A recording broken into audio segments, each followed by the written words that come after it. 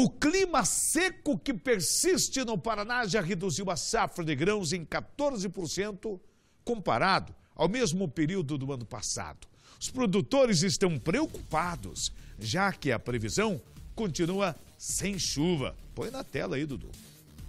A colheita de milho segue a todo vapor nos 125 hectares plantados na propriedade do seu Jurandir. A falta de chuva em fases importantes do desenvolvimento do grão prejudicou a produtividade em todo o oeste do Paraná. Acredito aí de 20 a 25% mais ou menos de quebra, né? Referência ao ano passado, que foi uma lástima, né? O ano passado, 17 real quebrou, quebrou todos os plantadores de milho, né? Então esse ano, a 31, vamos dizer que está razoável, tá? dá para colher. Nós tivemos muitos produtores que plantaram no seco, nasceu desparelho e muitos produtores que, que mesmo que plantaram com umidade, hoje estão sofrendo com a seca, porque essa seca já perdura por vários dias e isso vai diminuir a produção.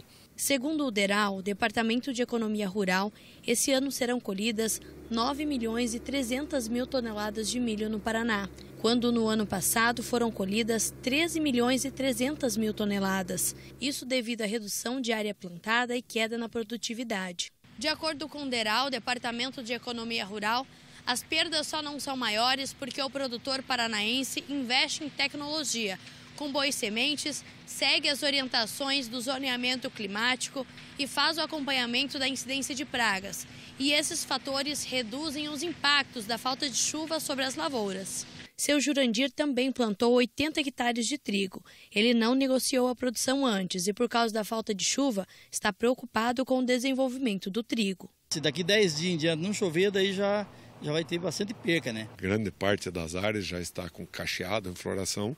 Isso já não reverte mais a produção, mesmo que daqui 15, 20 dias volte a chover. Talvez até lá na frente, se voltar a chover e chover muito, vai prejudicar a colheita. Mas eu acredito que é, reverter essa perda de produção não vai reverter.